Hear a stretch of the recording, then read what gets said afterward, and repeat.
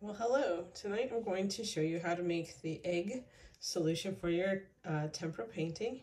I have a bowl, um, one tablespoon, uh, something to a dropper of some sort. I just have a plastic one mil dropper, uh, distilled white vinegar, and I have distilled water here too. Water.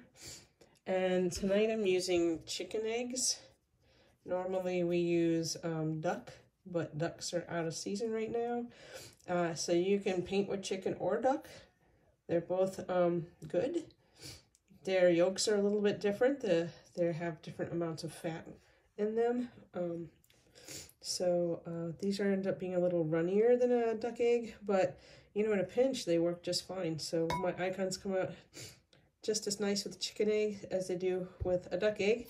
Um, duck eggs are traditional, so I like to, to hang out with tradition when I can, but uh, you know, when the ducks aren't laying, the ducks aren't laying. So um, first things first, we want to crack our egg, and I use a bowl. Um, the goal is to get the yolk unbroken. And um, duck eggs are so thick, you almost have to like smack them open with a knife like I'm doing here.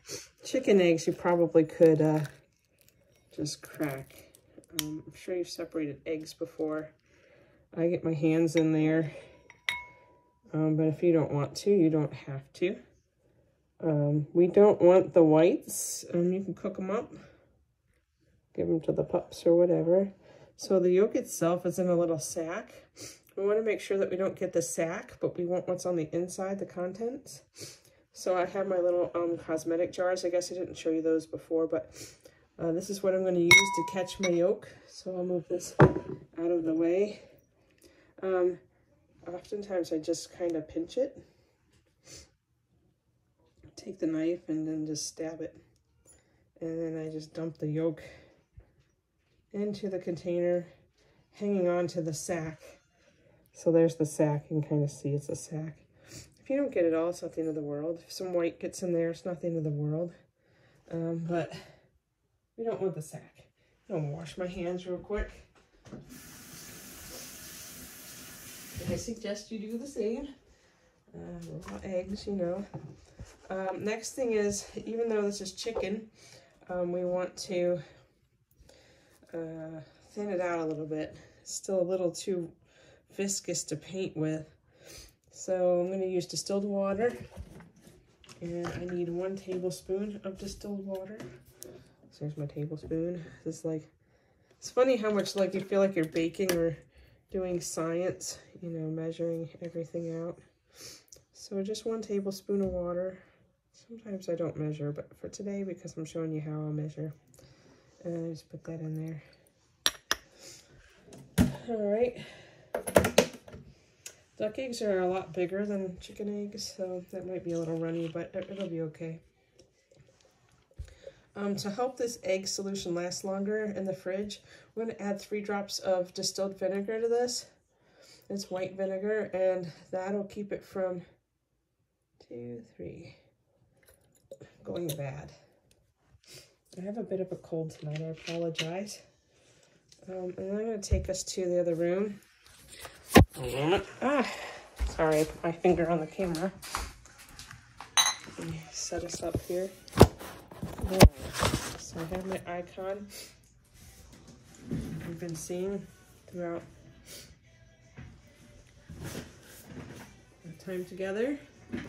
And so first things first, I want to stir this. And I just use little spatulas for that.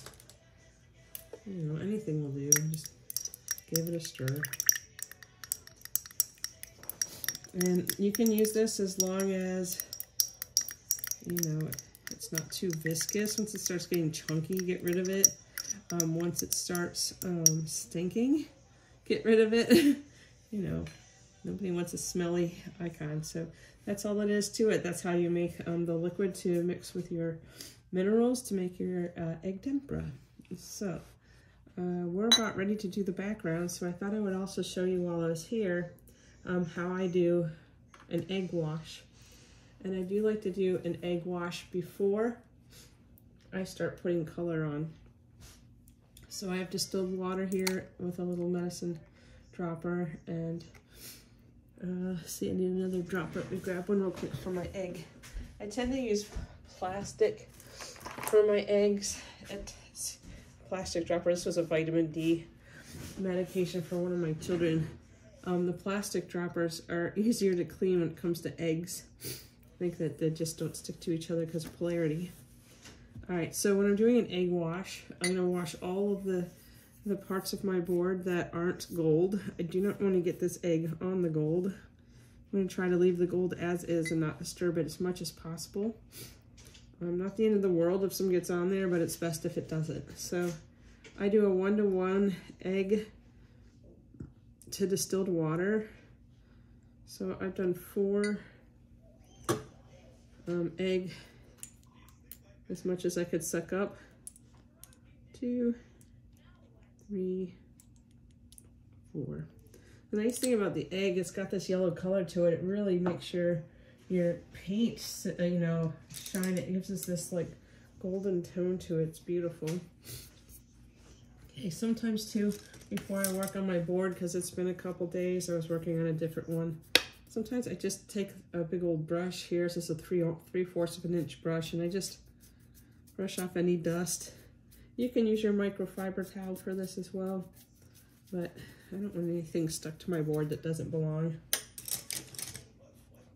So um, I'm using a number 16 round brush and I'm just gonna grab some egg tempera or some, yeah, my egg solution and I'm just gonna start brushing it on, trying not to hit the gold too much or at all if you can make that happen. Again, I apologize, I have a cold. But it doesn't stop me from praying or trying to write my icons. so, you do want it to go right up to the gold because you're going to paint right up to the gold and it's going to stick a whole lot better if you do an egg wash first. Um, and so that's what I am doing. This icon has a lot of whoopy boopy kind of whoop, whoop, whoop. I'm just going to stay along the outside and I'll go in and get the inside here in a little bit. And it's easy to just turn the the board and to keep painting pretty much in the same place with your hand. Some people like to paint with um, easels. I prefer to lay my board flat. And the reason for that is I like to um, do the little lake technique sometimes. And that's when I'm painting at the puddles, making like literally little lakes on my icon on the board. And if it was standing upright, the little lakes would run.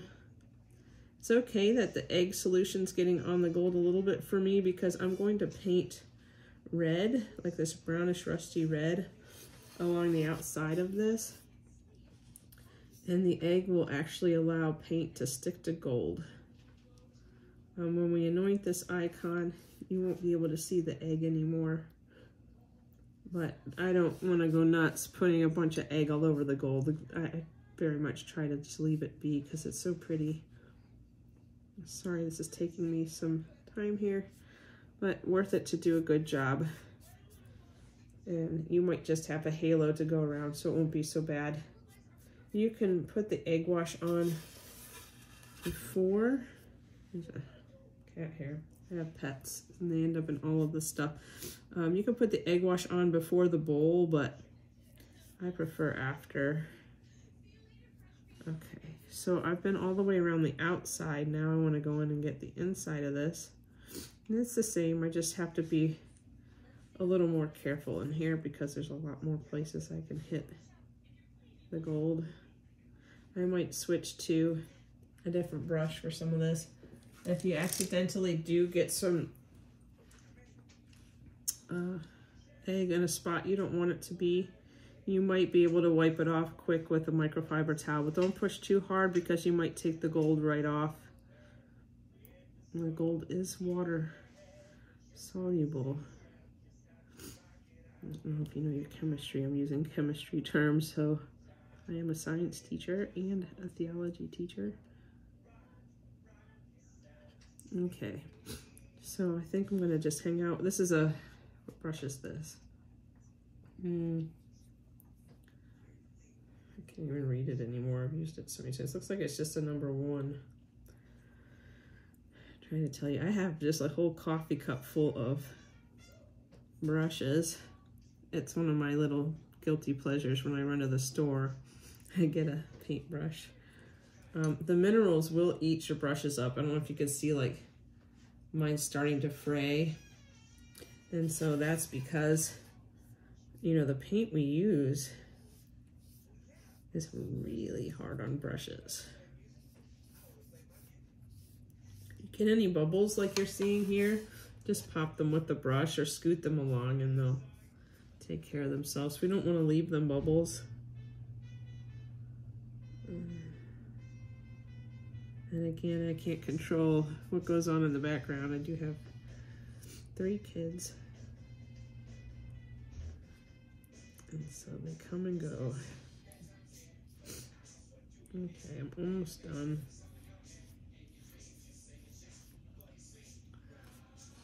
All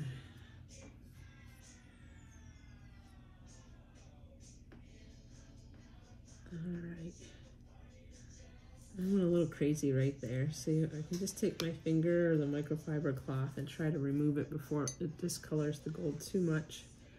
Not the end of the world. Um, there's nothing to get worked up about on an icon. It is a prayer and it comes out exactly as it's supposed to. That's the way I look at it. And so it's a little Bob Ross kind of moment. You have a happy little icon, happy little gold accident, you know. Um, ooh, it's so, a little crazy there. All right, so my whole board seems to be covered. I like to play with the light and make sure that I haven't missed any spots.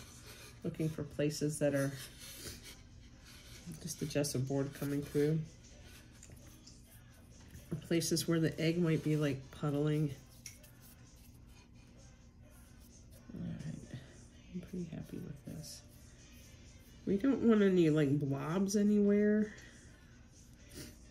A lot of times they'll come through. So I like to make sure there's no blobs. I like to spread my paint out nice and even. The goal is to never see a brush stroke. Alrighty, so that is how you make your egg solution for your tempera paint and how to do an egg wash. I hope you enjoyed.